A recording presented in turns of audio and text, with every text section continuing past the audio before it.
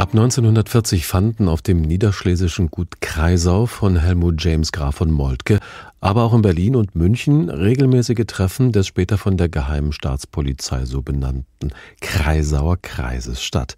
Auf ihnen wurden Konzepte für eine grundlegende staatliche, wirtschaftliche und soziale Neugestaltung Deutschlands nach dem Sturz der NS-Diktatur erörtert.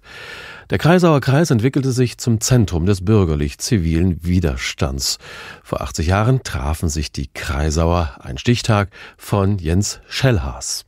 Das Schloss Kreisau in Niederschlesien im heutigen Polen, 60 Kilometer südwestlich von Breslau. Nur wenige Tage nach dem Fall der Berliner Mauer entsteht an diesem Ort eine Begegnungsstätte für europäische Verständigung. Wie schön zu wissen, dass du da bist. Wie sehr lieb. Eben brachte der Wachtmeister mir frisches Fleisch, Schlagsahne und Semmeln. So schreibt Helmut James Graf von Moltke im letzten Brief an seine Frau Freier. Es ist der Tag seiner Hinrichtung. So wie ihm ergeht es vielen, die sich im Schloss Kreisau zu konspirativen und mehrtägigen Treffen verabredet hatten. Roland Freisler, Präsident des Volksgerichtshofes in Nazi-Deutschland, macht ihn in den Prozess. Verräter an allem, wofür wir leben und kämpfen werden sie alle mit dem Tode bestraft. Ihr Vermögen verfällt dem Reich. Im Januar 1944 wird Moltke verhaftet. Er hatte einen Freund vor dessen Festnahme gewarnt. In den Jahren zuvor hatte der Graf unter dem Deckmantel von Familienfesten auf sein Schloss geladen, um über eine demokratische Entwicklung nach Hitlers Diktatur zu diskutieren. Und wenn man damals Menschen fand, die genauso dachten und auf derselben Spur liefen wie man selbst, war das schon ein Geschenk. Erinnert sich Marian von Wartenburg. Ihr Mann Peter und Graf von Moltke sind die führenden Köpfe dieser Treffen, die später in den Listen der geheimen Staatspolizei, der Gestapo, als Kreisauer Kreis auftauchen. In dieser Gruppe kommen Menschen aus unterschiedlichsten gesellschaftlichen Milieus zusammen. An Moltkes Seite seine Frau Freier. Dass sie so verschieden waren, das war gerade der Sinn dieser Gruppe. Er hat gesagt, evangelische haben wir schon genug, jetzt müssen wir noch ein paar katholische haben.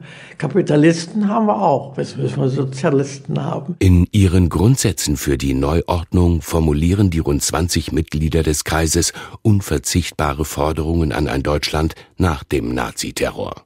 In einem Entwurf heißt es Wiederherstellung von Recht und Gerechtigkeit, unbedingte Toleranz in Glaubens, Rassen und Nationalitätenfragen. Ein Attentat auf Hitler kommt für viele Kreisauer nicht in Frage. Moltke war überzeugt, dass damit das geistige Grundübel nicht beseitigt werde. Eine demokratische Neuordnung sei ausschließlich durch eine militärische Kapitulation möglich. Sie sollte auf Humanität, christlicher Ethik, Gerechtigkeit, Mitbestimmung und der Überwindung von Klassenschranken beruhen. Moltke träumte sogar von einem europäischen Bundesstaat. 1943 waren die Grundsätze des Kreisauer Kreises fertig zu Papier gebracht. Und ich habe sie versteckt. Sie waren in Kreise versteckt. Auch mein Mann wusste nicht, wo ich sie versteckt habe. Als Graf von Moltke im Januar 1944 verhaftet wird, schlafen die Aktivitäten des Kreisauer Kreises ein. Einige Mitglieder beteiligen sich am Attentat auf Adolf Hitler. Am Ende fliegen alle auf und nur wenige kommen mit Gefängnisstrafen davon. In einem der letzten Briefe Freier von Moltkes an ihren Mann heißt es Ich werde leben müssen und das wird schwer sein. Aber es wird gehen, denn ich werde dich weiter lieben dürfen. Am 16. Oktober 1942 traf sich die Widerstandsgruppe, der sogenannte Kreisauer Kreis, zum zweiten Mal, heute vor 80 Jahren.